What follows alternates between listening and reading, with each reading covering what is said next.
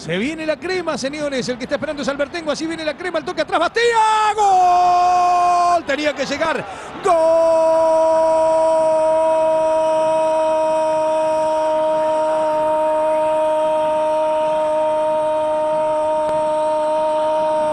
La CRE, de la CRE, de la crema de Atlético de Rafaela. Merecido gol de Adrián Jesús Bastía, que llegó otra vez al área para definir cuando ya el partido terminó. Bastía tuvo su premio merecido, igual que la crema. Señoras y señores, ese hombre, Bastía, dice que ahora Atlético de Rafaela derrotó a Central 2 a 0.